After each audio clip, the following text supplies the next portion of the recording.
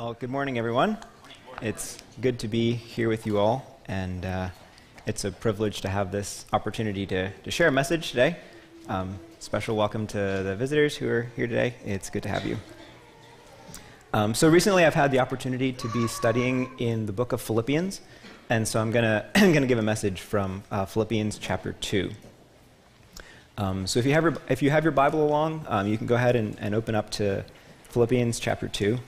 Um, the passage that I, that I chose is a, a, beautiful passage. It's also a challenging passage, and it's a passage that shows us the glory of Jesus.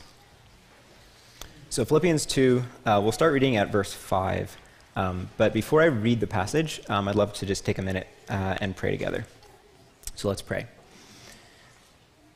Dear God, thank you so much for all of your blessings to us. Thank you for this morning. Thank you that we can all be here together. Thank you for speaking to us through Scripture.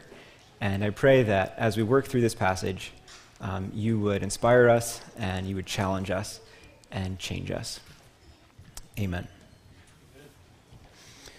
So, Philippians 2, um, we're going to be looking at verses 5 through 18.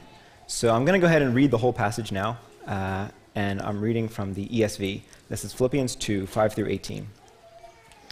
Have this mind among yourselves which is yours in Christ Jesus, who, though he was in the form of God, did not count equality with God a thing to be grasped, but made himself nothing, taking the form of a servant, being born in the likeness of men. And being found in human form, he humbled himself by becoming obedient to the point of death, even death on a cross.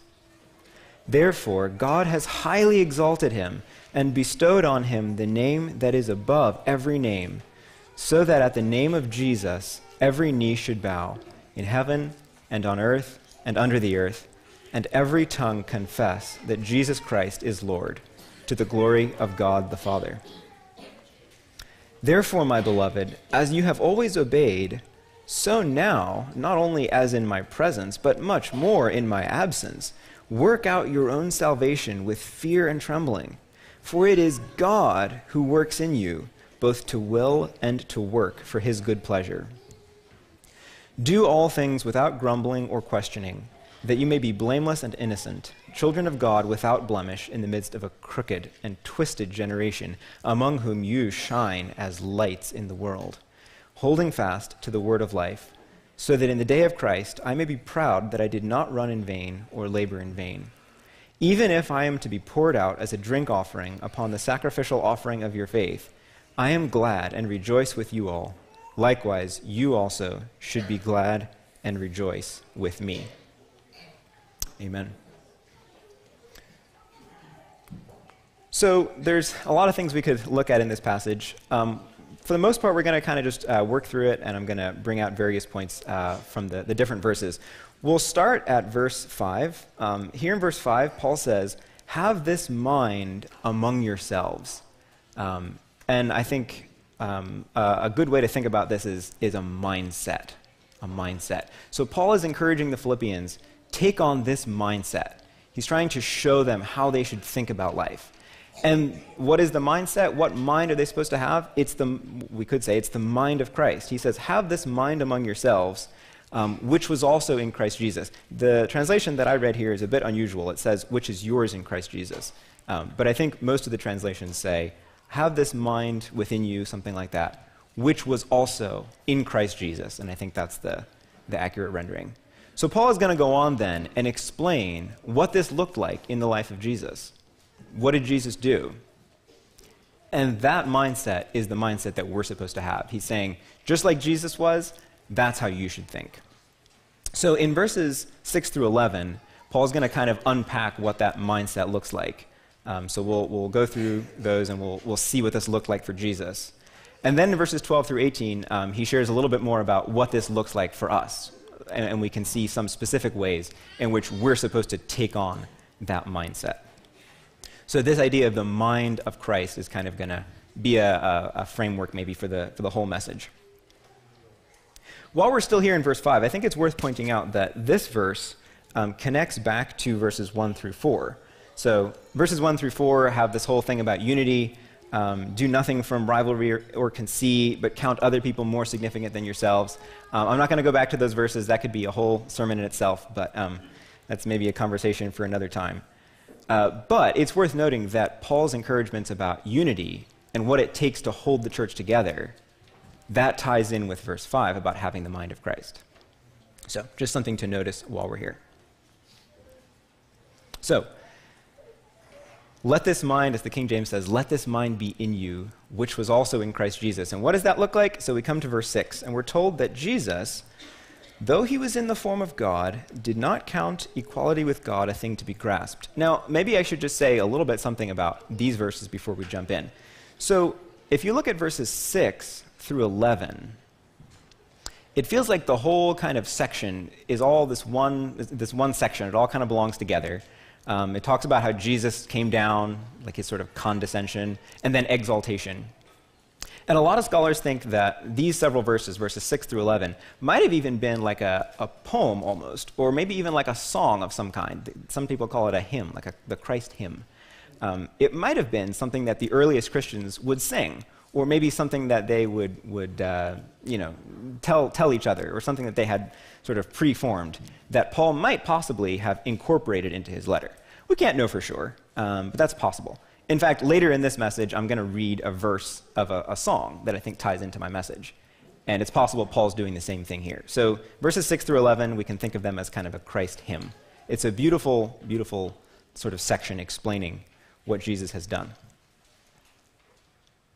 So, we come to verse 6, and we're told that Jesus was in the form of God, but he did not count equality with God a thing to be grasped is what the ESV says. And different translations kind of bring out different ideas here. Um, some, some would give the idea of something to hold on to. So Jesus did not count equality with God something to hold on to. And others would say something more like something to use for his own advantage. I think there's probably some, some value in both of those. Either way, the idea is that Jesus didn't hold on to his divine status, his position of honor, his, his station, if you will as something to, to keep for himself, but he was willing to give it up. If you can kind of imagine a scenario where you suddenly become, you suddenly find out that you are the heir of some rich businessman, okay? So it, it just so happens that when this rich businessman dies, you are going to inherit his whole estate. Not a very likely scenario, but just, just imagine. Um, probably the temptation, the, the, the, natural tendency for all of us would be to think of that as something that we're going to use for our own advantage. We'd be like, you know what, this is great. I'm going to inherit a whole pile of money at some point. point, and so maybe I can buy my house instead of having to rent one, or maybe I can, you know, buy a better car or do some, some fun travels or something like that, right? Something to use for our own advantage. We would probably also tend to think of that as, uh, we, we would probably hold on to it and not want anything to take it away from us right? So if, you, if there was some kind of scenario where maybe someone else was going to inherit it, we would probably be like, no, no, no. I want this inheritance for myself, something to hold on to. And that is exactly what Jesus did not do. Jesus did not hold on to his, his exalted position as something to keep for himself. In verse 7, we're, we're told a little bit more what that looks like. It says that he made himself nothing, taking the form of a servant being born in the likeness of men. And this is where Jesus comes down and becomes human. The idea here is that Jesus emptied himself, and I think this comes through more clearly in some of the other translations. Jesus emptied himself. We have to be kind of careful because Jesus is still God, and he didn't stop being God when he became human. But in, in some very important ways, he, he left aside, he, he laid aside some, some of his, the use of some of his divine attributes, and he, he gave up his position of honor and exaltation. So it's hard for us to imagine, but, but right, think of Jesus, the one through whom all things were created, who eternally existed in perfect peace and perfect joy with God the Father. He has perfect power and perfect knowledge, and he comes down from there and he becomes human. And this is the mindset that we're supposed to take on. This is what Paul's talking about when he says, let this mind be in you. It's really hard to kind of illustrate or, or like make a comparison for what that's like. You know, how can we eh, get, get our heads around what Jesus did coming down. And people sometimes talk about like incarnational missions and how, you know, we're going to go like live among the people. And that's, that's really, really good. But like no amount of, I don't know, condescension that we do ever really like measures up to what Jesus did. But maybe, maybe one illustration that can help us a little bit is the story of Eric Liddell. I feel like somehow someone was talking about him here not very long ago. Probably a lot of you have heard of Eric Liddell. So he was this Scottish uh, runner, athlete. And it's, it's an amazing story. So um, he, this is the guy, his story is told in a, a film, a play called uh, Chariots of Fire. I'm sure some of you have seen it. I haven't, but everyone always talks about it. So there it is, Chariots of Fire. So the, the story is he was the Scottish athlete and he was a super, super fast runner. So he, he was going to go to the Olympics and, and run the 100 meters. And, and, you know, he was really fast. And then it turned out that the heat, like the, one of the kind of first runs for the 100 meters, was on a Sunday. And he really strongly believed in like setting aside Sunday for spiritual things, and so he just felt like he couldn't do it. So he skipped the 100 meters, and, and he, he stood up for his convictions. Then he ended up running the 200 meters. This is the Olympics, right? He ran in the 200 meters, and he won the bronze medal. And then he went in for the 400 meters, which wasn't even his specialty, and somehow he defied the odds, and he won the gold medal. I don't know if you guys can imagine what it would be like to, to win a gold medal at the Olympics. I don't really think I can. But just like, can you imagine if like one of the guys in our youth group was like, oh yeah, like he's, he's like super fast. He was actually in Tokyo the other year running in the Olympics and he won a gold medal. Imagine if we had somebody like that. It's, it's almost hard to, hard to get your head around. But I think if there was someone like that, everywhere you go, people would be like, oh, there's the Olympic gold medalist. Did you hear? he ran, you know, this race and he got the Olympic gold medal. Everywhere you'd go, you'd be honored and you'd have all this fame. And probably people would come up to you and ask you to sign their t-shirt and ask you for like inspirational advice, like, oh, you know, tell me something that's going to motivate me, right? That was Eric Liddell, 1924, became a hero, right? And the next year, 1925, he stepped aside from all that and he went to China to be a missionary. So his parents actually had been missionaries before, and he went to China to follow in their footsteps. And he served as a teacher and an evangelist, and I'm sure he did some running after that, but he never, he never came back to run in the Olympics. He never sort of came back to the United Kingdom to enjoy his fame and his prosperity. He laid it aside, and he went to a place with a lower living standard to serve as a missionary. Again, compared to Jesus, that's nothing, but I think that gives us a little picture of sort of laying aside glory and, and position. Let's think for a minute about what Jesus gave up by coming down. So, did you ever think about the fact that Jesus could have been born or could have had a shining face? Remember that story from the Old Testament where, like, Moses, he's like, you know, talking to God, and when he comes back to the people, his face is like just absolutely glowing. And I don't even think he knows about it, right? And all the people are like, Moses, like, your face is literally shining. Like, we can't even look at you. So they have to put some kind of, like, you know, cloth over his face. Jesus could have had that. Jesus could have been like, you know what? I just want everyone to know who I am. So I'm just going to, like, have my face shining all the time.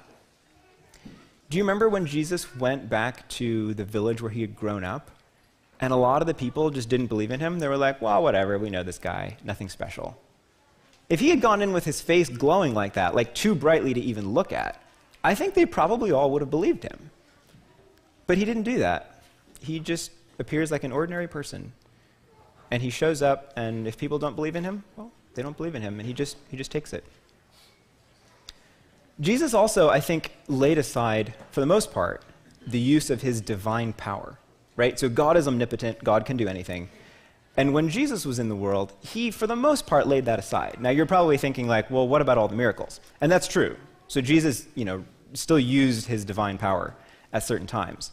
But it, it, actually seems like for the most, like for, for most of Jesus' life, the 30 years before his ministry began, it doesn't really seem like he used his divine power at all. Uh, stories about clay birds notwithstanding. But it seems like, you know, based on what we have in the Gospels, it doesn't seem like Jesus was doing miracles at all. He just laid that all aside. And then even, one, even once, once he started his public ministry and he went around doing miracles, he never used his divine power for his own comfort or his own convenience. He used it to serve. In fact, there's that, there's that you know, famous story where Jesus was on a really long fast, and then at the end he's like super hungry, and there's no food around, and the devil comes, and he's like, hey, why don't you use your divine power to just like create yourself some food? and Jesus doesn't do it. He's laid aside, for the most part, the use of his divine power. There's also that striking uh, little incident in John 4 where Jesus and his disciples um, are going, going somewhere, and it says that Jesus was weary from his journey. The one through whom all things were created has gotten tired out from walking, and so he just sits there by the well while his disciples go into town to buy food. This is what it means, this is part of what it means that Jesus emptied himself. He laid aside that. And in some mysterious way, Jesus even laid aside, at least in some, in some measure, his divine omniscience. So, omniscience, right? God knows everything. Somehow, Jesus, and this is, this is striking, but here's, here's what Jesus said when he was talking about like the end of the age. He said, Concerning that day or that hour, no one knows, not even the angels in heaven, nor the Son, but only the Father. It's a bit of a mystery, I think, how Jesus can be God and at the same time not know something. But somehow, he's, to some degree, emptied himself. He's given up the use of what was rightfully his. And I think we, we really can't overstate the importance of this, this emptying, the incarnation, Jesus coming down. We can't really overstate the importance of this for our faith. Um, if you think about what is Christianity and what makes Christianity different from the other religions, um, this is right at the center. So nowadays, people like to talk a lot about what all the religions have in common, right? So, you know, in Christianity, we believe in God, and, you know, in, in Islam, they have a belief in God. And then, you know, there's Hinduism, they've got a bunch of gods. And so all the religions, they all kind of have something to say about God or what that means. And all the religions have some kind of scripture, right? You know, like we, we adhere to the Bible, and then Muslims have the Quran, and then, you know, there's the Rig Vedas, and there's these other scriptures out there. And a lot of religions also have some category for like a prophet, or someone who kind of hears a message from God and then like proclaims that to everyone else. So we've got people like the Apostle Paul, you know, he, he writes a letter like Philippians, and then, you know, Muslims would say that Muhammad hears from God. Uh, you know, there's like Buddha, who's this kind of enlightened teacher. So there's some kind of basic similarities. But folks, no other religion has anything like Jesus. There's no religion out there that has God himself coming down to become a human.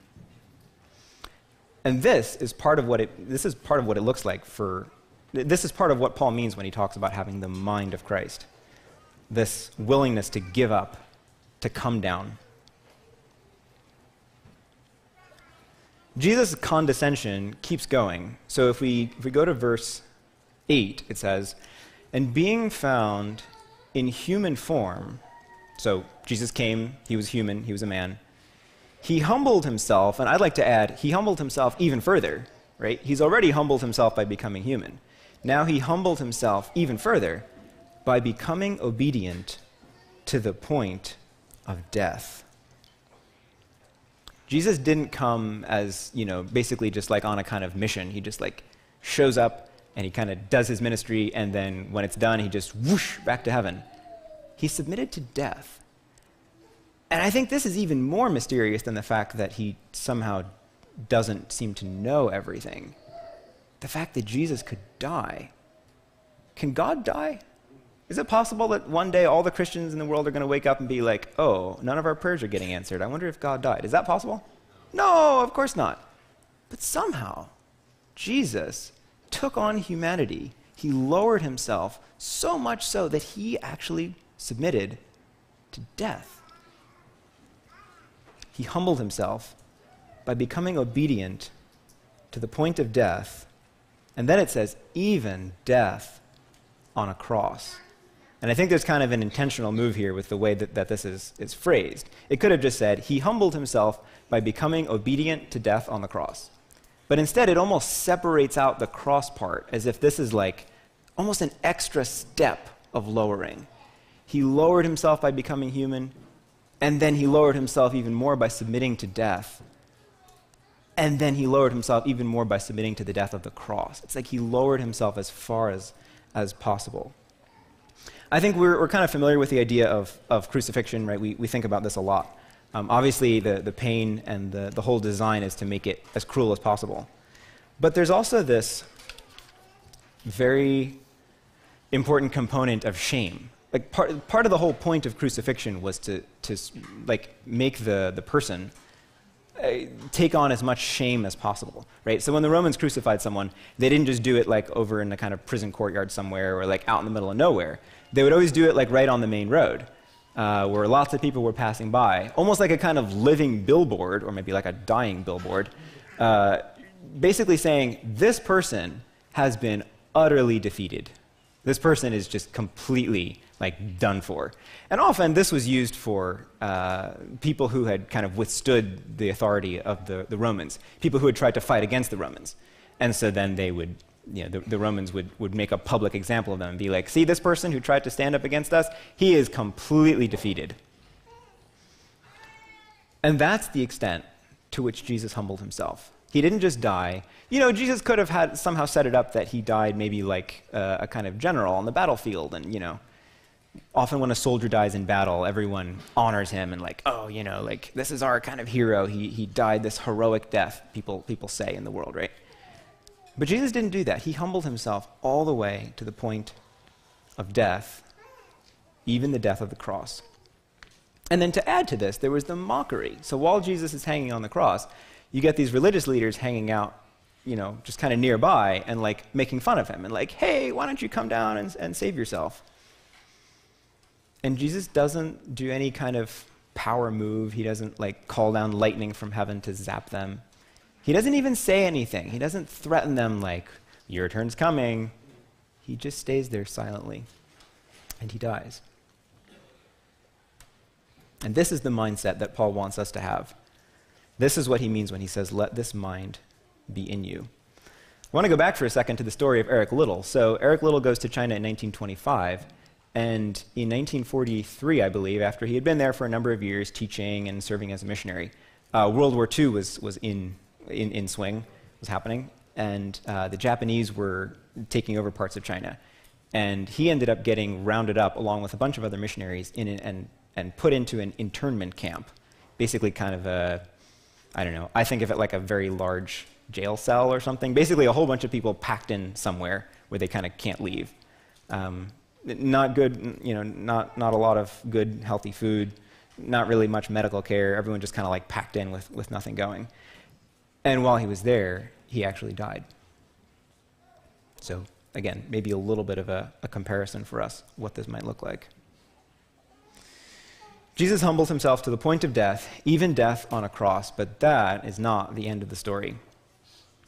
God has highly exalted him, we read in verse 9 and bestowed on him the name, pardon me, bestowed on him the name that is above every name, so that at the name of Jesus every knee will bow and every tongue will confess that Jesus Christ is Lord.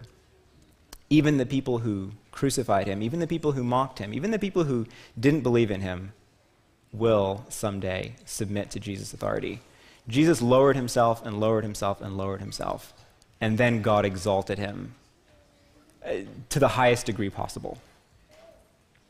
There's probably a lot more that could be said um, on these verses, but um, I think we'll move to, yeah, we'll move to, to verse 12. So in verses 12 through 18, we're going to see just a little bit more the kind of how this might look for us practically. So Paul says, Therefore, my beloved, and, and let's just notice the word therefore, right? So, in light of everything we just saw about how Jesus lowered himself, he emptied himself, and then he is now exalted to God's right hand. In light of that, what, what should we do? What should this look like? Therefore, as you have always obeyed, so now, not only as in my presence, but much more in my absence, here it is work out your own salvation with fear and trembling. Work out your own salvation with fear and trembling. Maybe we should note quickly this idea of salvation. I think we're very used to thinking of salvation as kind of something that happened to us in the past, like, oh, I got saved. And that's true. That's right. Those of us who believe in Jesus have been saved. But our salvation is also something that's still in progress. And our salvation is also something that's going to be completed in the end. We are saved, we have been saved, but we've still got to work out our own salvation with fear and trembling, he says. This is no small matter. So, okay, Paul, why should we work out our salvation with fear and trembling? Why can't we just take it lightly? Well, verse 13 gives us the answer. For it is God who works in you, both to will and to work for his good pleasure. We need to work out our salvation with fear and trembling because our salvation is not our own personal project. This is not a, a self help uh, plan where you kind of make yourself a better person. It's also not just the Apostle Paul's idea.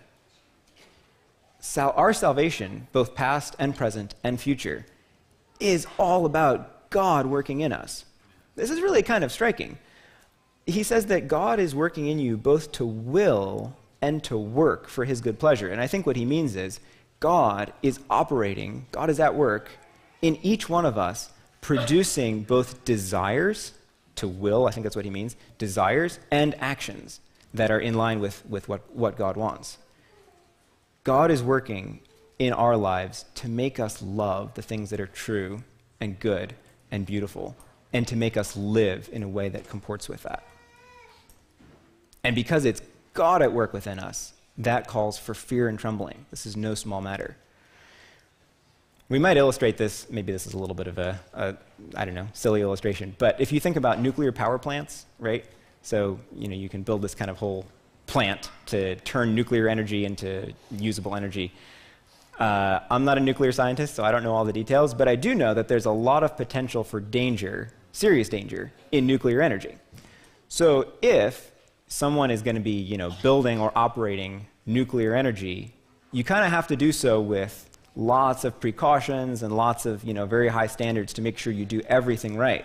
Maybe Paul would say, if you're doing, if you're working with nuclear energy, you need to do it with fear and trembling because it's nuclear energy you're talking about.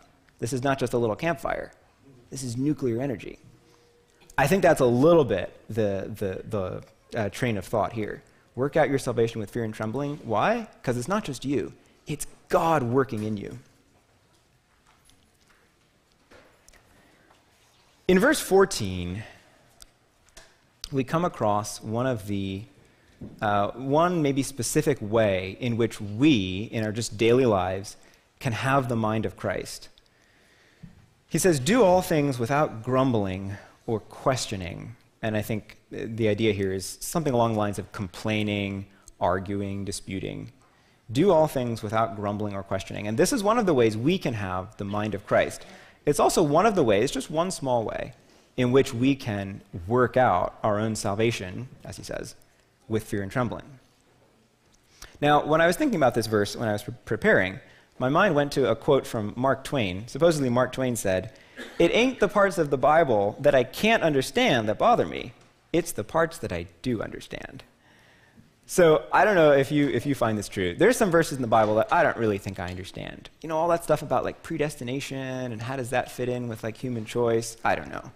Or then there's that zinger in 1 Corinthians 15 where he talks about people being baptized on behalf of the dead. Like, I don't have a clue what that means. But I think if I'm honest, it, those verses aren't really the ones that trouble me verses like this that I actually understand perfectly well, these really are kind of the troublesome ones. Basically, what he's saying here is don't complain. Just don't complain. And this is troubling because if you're anything like me, you can think of a lot of uh, sort of reasons to complain just all the time. Like even just small things I find myself complaining about. Sometimes verbally, and sometimes just in my heart. Just little things. And sometimes big things too.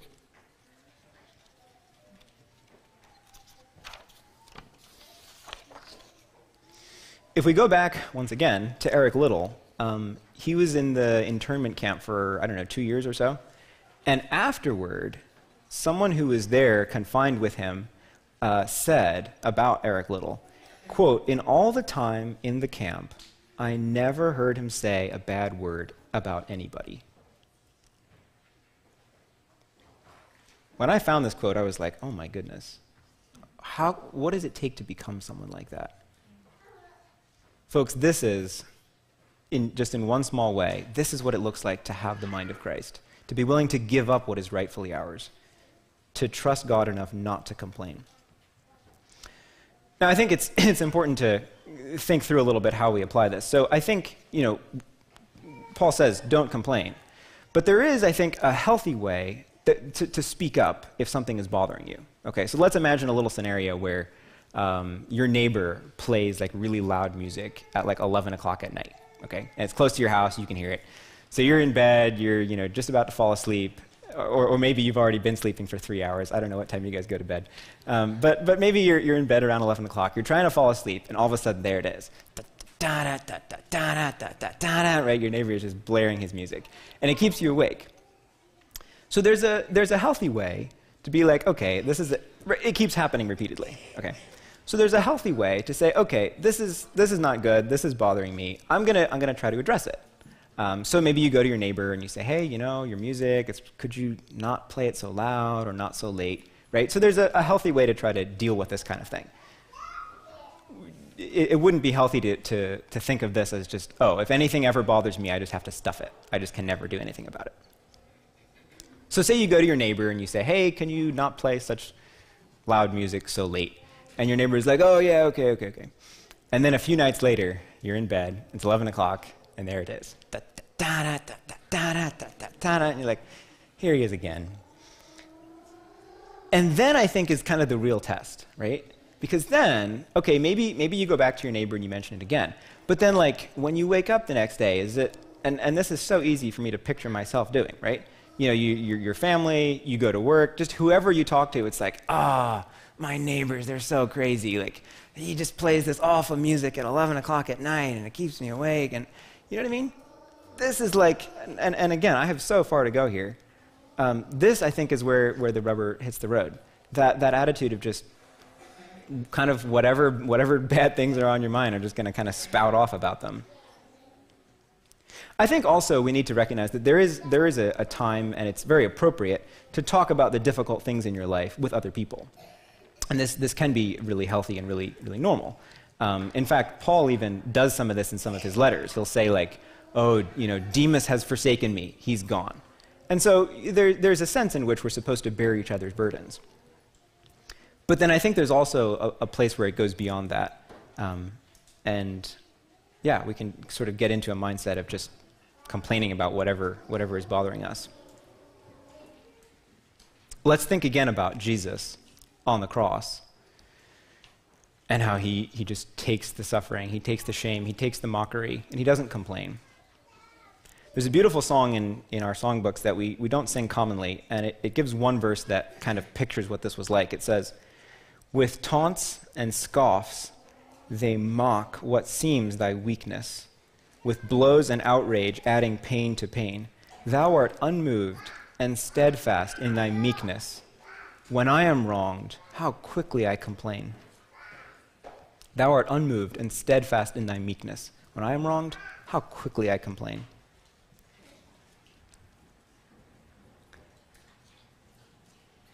Part of the reason that Paul gives this specific encouragement about not, not being uh, grumbling and, and disputing, uh, we can see in verse 15.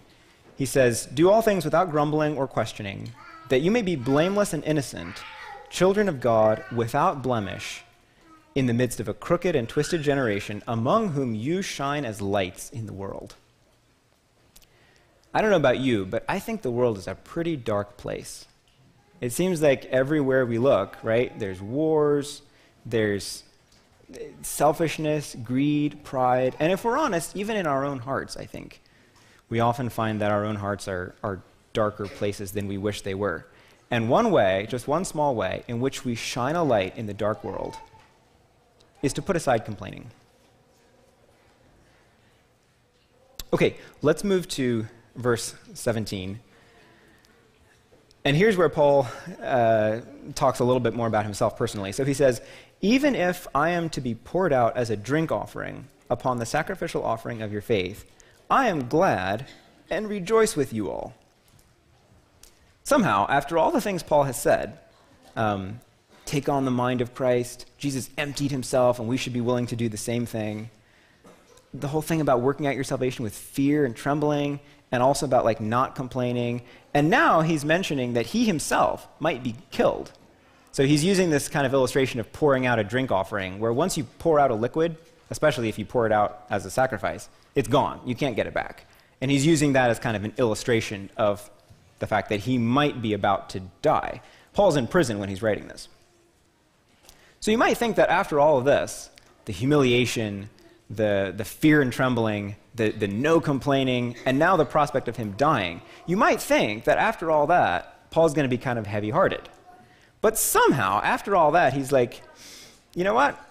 I am really, really happy. That's basically what he says. Even if I am to be poured out as a drink offering upon the sacrificial offering of your faith, I am glad and rejoice with you all. And then in verse 18, he wants them to rejoice with him. He's like, hey, I'm so happy. You guys should be happy with me. So, what's going on here? What does Paul know that we don't know?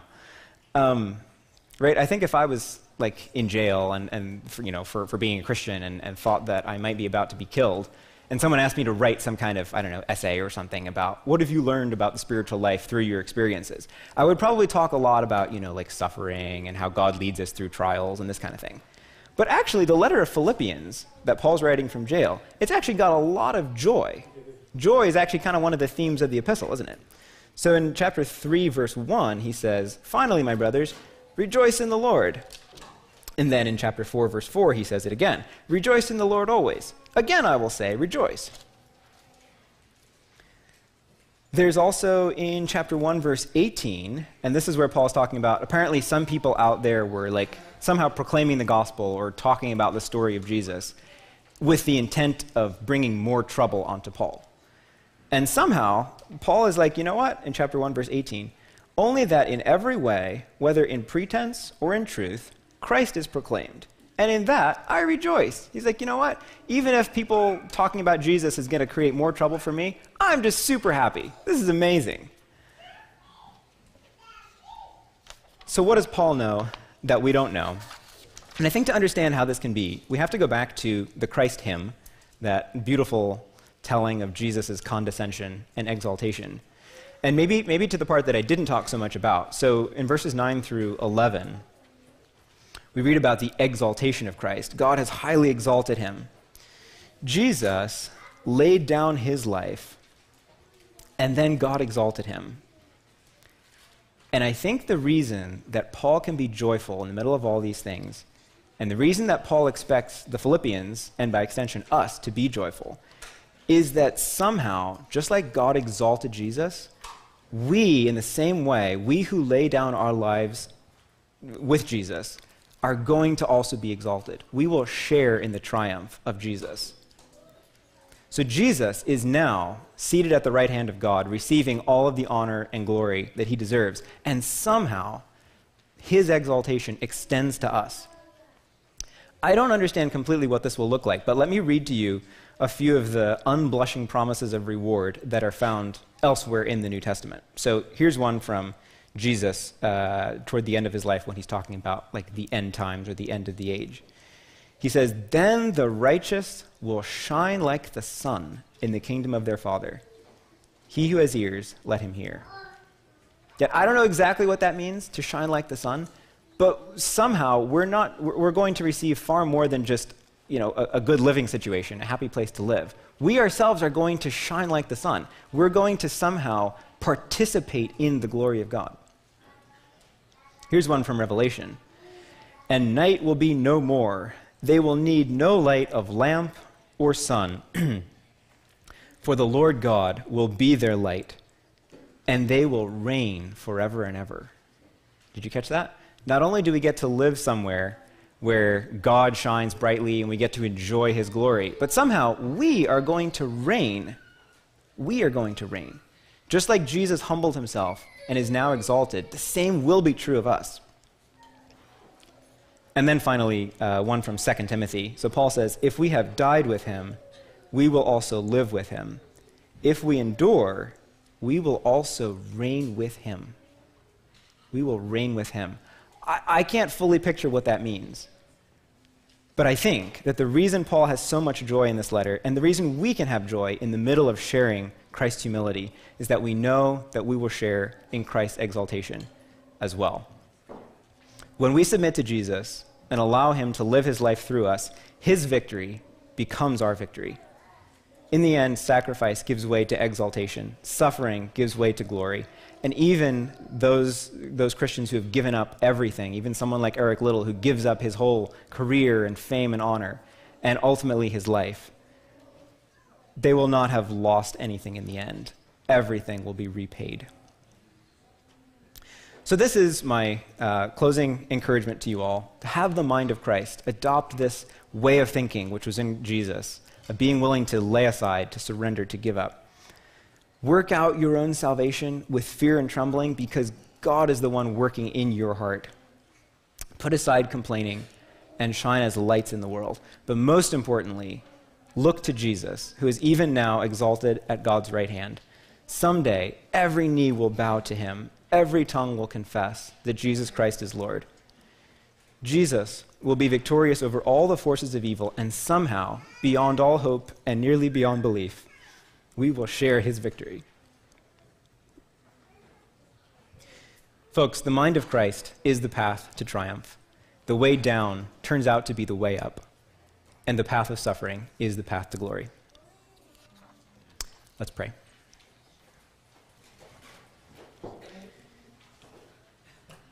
Dear God, thank you so much for sending your Son. I pray that as we go through our daily lives, you would help us to take on more and more the mind of Christ. And I pray that you would give us the, the spiritual eyes of faith to see Jesus even now exalted at the right hand of God. And I pray that this would work itself out in our lives every day. Amen.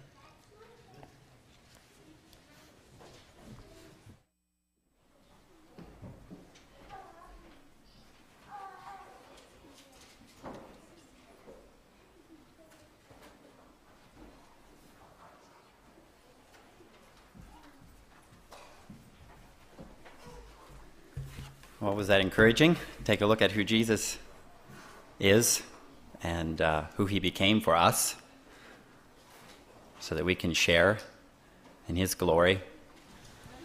God is good. Well, there's a hand back there, Brother Dwight.